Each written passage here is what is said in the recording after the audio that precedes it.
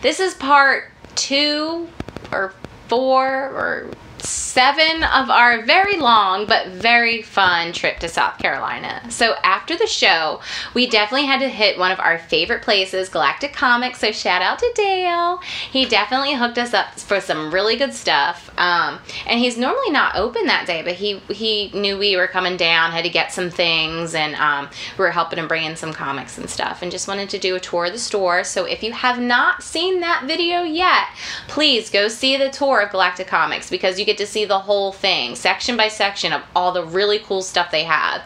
And one of the things I really like about them is they definitely support local artists and local creators. So that's really awesome. I'll get more into that later, but I did want to show you what we got from there. So we got this really cool Tri-Klops. I love him. He is like super green and awesome looking. So this is definitely going to go in our collection and he's not going to get opened. He's going to stay as is. But yeah, this is one of the beautiful ones for Mattel. So I love it. And I'll show you the back. Cute, right? Yeah, my husband goes there and he definitely just goes right for the He Man section because, and we have drained him dry of his He Man. So if anybody out there is like selling He Man or like Thundercats, like hit up my friend Dale at Galactic Comics because we keep buying them out. All right, so this one, this is Fire Armor Skeletor. Serious business. Um, my husband's like, do I have him? I was like, uh, chances are you don't. I don't remember seeing something so flamboyant. Get it? And um, and this, I'm not doing the staff, but look how cool.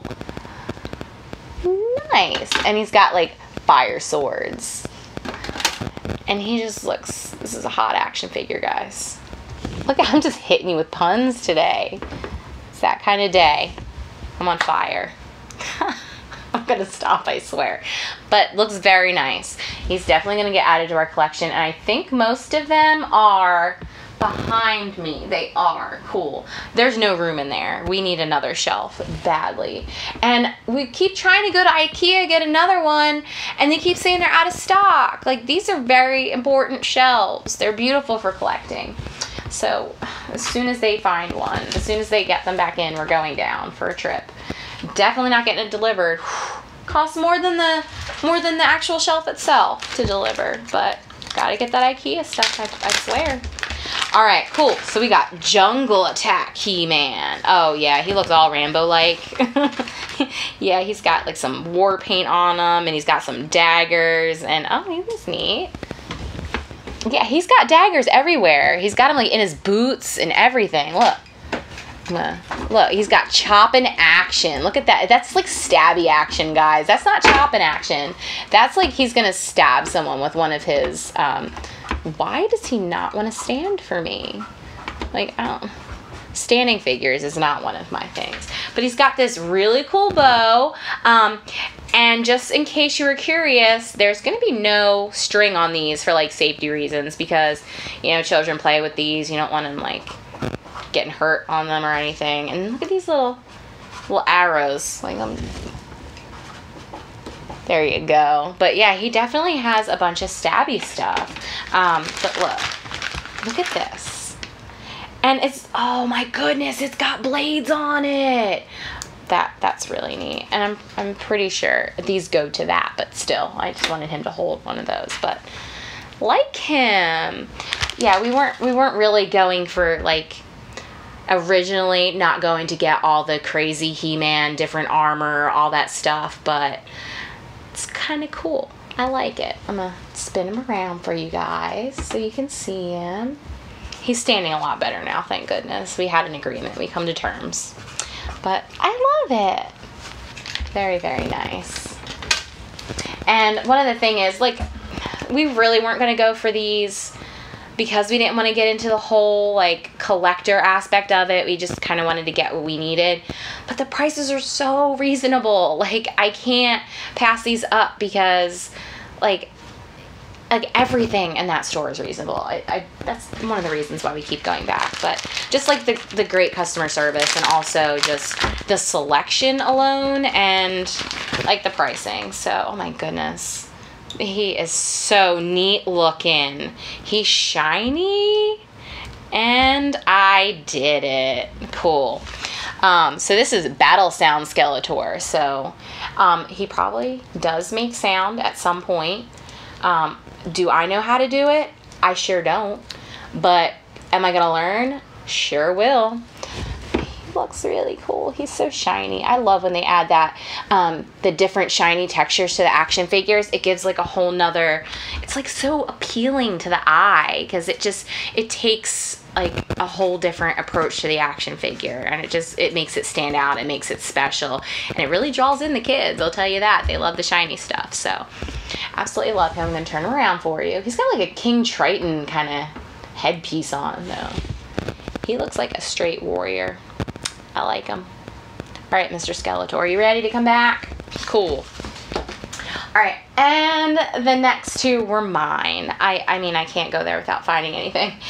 And if you guys saw the video um, of the tour, when I did a double take of the micro machines and I showed you the Power Rangers. Yeah, I bought them. Like, of course I was. Did you really think I wasn't? So I got this one mainly because I really love Goldar. I don't know why.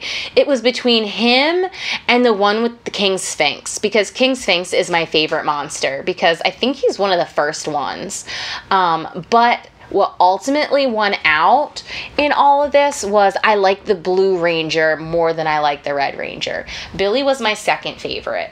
I definitely love Tommy. He was awesome. I liked him more as the White Ranger because, you know, the whole drama with the Green Ranger and everything. Like, he was made by Rita Repulsa to go against the Power Rangers. Like, so he kind of shed his bad and became part of the Power Rangers team, put on the White Ranger, the hero, the good guy. So I'm sorry, my geek is showing, but I love me some Power Rangers. Like that is the first time I actually remember actually asking for an action figure is when the Power Rangers were coming out. All my friends had them, but that like really wasn't the reason why. I loved the show and I really wanted to do all the moves and stuff while watching the cartoon. So I begged, begged, begged my mom, please find me some Power Rangers toys. And of course, they're all sold out everywhere. You couldn't find anything. Like it's just like the whole thing with the Cabbage Patch Kids and like that. It, it's just ridiculous. The toys back then. So we wound up getting like a little Bobo, a little knockoff from um, the Berlin auction, and I actually still have him to this day. He is upstairs in my toy box. Yeah, I'm a grown woman with a toy box. I just said that, but it's okay. I have my toy box from when I was little, and it's a Nike um, shoe box. It's like yay tall. It's clear. It's got all my favorite little toys in it. So my Bobo Blue Ranger is definitely in there. All right. And then the next one. I love this. Yes, it's not vintage. I get it. But it's still really neat. I'm going to have to face the facts. My son is three years old. He's eventually going to have to go to school sooner than later. And when he does, I want him to go in style. Um, he has a custom lunchbox for him to go to school, which you guys have seen in another video. And this is going to go inside. I mean, as a parent, I love it because it's got the turtles. And I really love the water bottle. That's going to be neat. And it's like a whole snack box that can keep his like sandwiches from getting crushed. I'm so excited for him to have this. But um, it was a real blast going there. And um, the thing I did want to talk about is that um, they support local artists. They have, as you saw in the video, hopefully, they had some custom um, artwork up on the wall um, by local artists, and also in their clothing that they sell. Some of it's vintage, some of it is actually made, um, like that Spider Man polo that I showed in the last video. Um, that's local as well. And he also supports local comic book artists. And yes, we're not technically local, but we go there enough. We're friends. So um, he definitely was interested in taking our comic and selling it in his store. It is my son's comic, The Bubbler, and I actually think I have. I wanted to show you if I have them in my box, what side it would be in. Yep, I got it. Nope, nope, that's Argyle Avenger, but I'm going to show you that anyway because we are selling you that. We, are selling that there too. Um, no, that's the graphic novel. Guys, I don't think I have it in here. Or if it is, I really can't find it. I don't remember. We are selling the G-Man one too, so I'm going to show you the G-Man. Cannot find the generic bubbler at the moment, but this is the one that we are selling as well at his store. Um, this was a crossover um, with Chris Giarrusso. He does great work for Marvel. He does mini Marvels. He also does um, a lot of comic book covers um, in his in his style. He is so creative. Um, he's actually a really good friend of ours, and I love Chris. Um, so yeah, he actually, you know, worked with our son Xavier, and we did purchase the rights for like a million dollars. I don't remember how much it was, it was a lot. um, but yeah, this this is one of the things that we're selling there, um, just to give you a little taste. It's my son Xavier. He created um, a character when he was five years old, and this is him, the bubbler, and he wanted to clean up crime against his brother, Dirty DJ, who may or may not be in this book. We don't know know.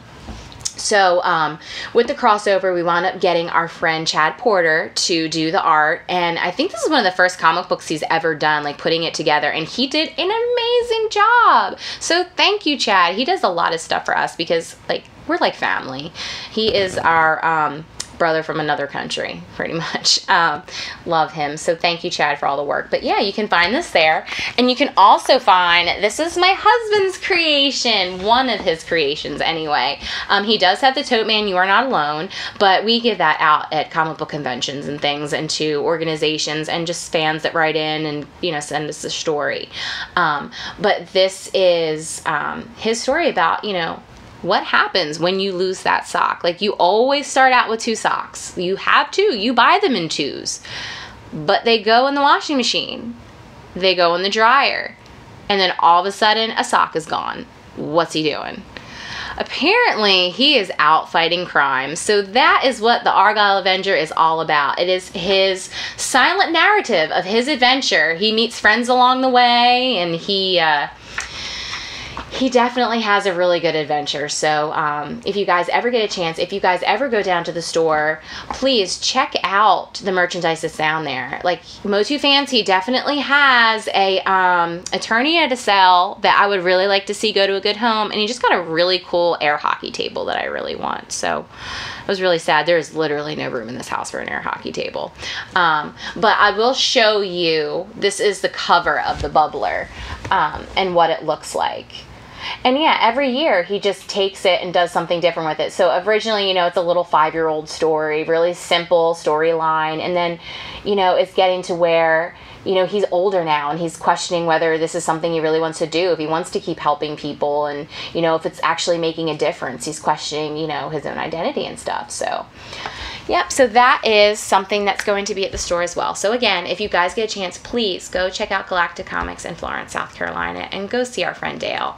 Um, and go like the video on there as well because and go check out the other video if you haven't seen it yet because you can get a whole tour of the store and the link for the store is going to actually be in the description so take a look um, did want to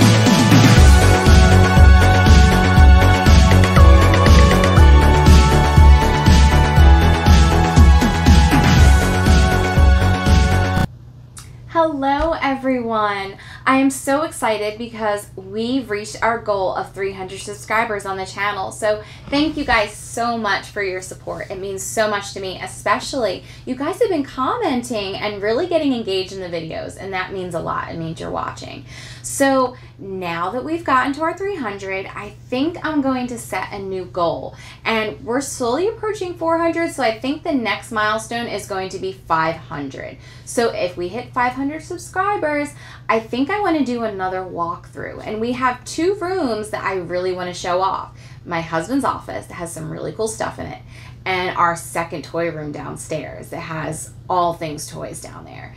So, what I would like you guys to do is to continue to like and subscribe and to comment as usual. And also, once you subscribe, hit that bell for this, the notifications so you can hear and see our new videos that are coming out or the old ones too. Um, so yeah, let's get there. Let's get to 500. I kind of want to show off our rooms. So we'll see you guys real soon and continue to spread the word and support. Bye guys.